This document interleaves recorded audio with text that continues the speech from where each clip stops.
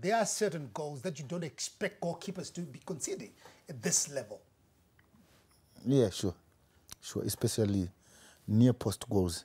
They are the goalkeeper as you know, uh, goals. I think they need to be blamed for that. Of course, you know what? Tinge tichiti ndopa wakakava and wozoona richirohwa richipinda neipapo. Saka tini tichiti positioning yako iri bad.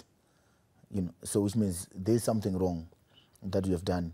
Kuti bhora rizorohwa neipapo richiita se richipinda neipapo like the FC Platinum goal. Donovan Bernard, he went down I think very late.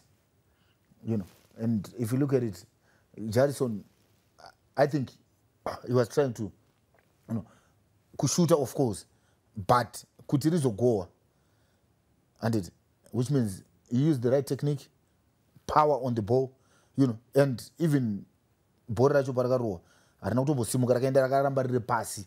So sometimes it's not for the goalkeeper to go achishandisa maoko. Sometimes anofanira kungoshandisa chi gumbo rinenge riri in front and especially kuside kuri kuside kwakarorwa bhora. Because ukatarisapo dono van bernard time yaakazoenda pasi. He was too late. Is this a new name? Dono van Bernard. that's, that's how we call him donovan I, I thought we had a Dutch player. you know what? You know what? You know what awat you know what awat chinonakidza pa pana donovan because mudhara wake the late mirirai bernard taitamba tese kuacs saka taingwati baba dono baba dono. Saka you know what? Pana donovan ndatojaira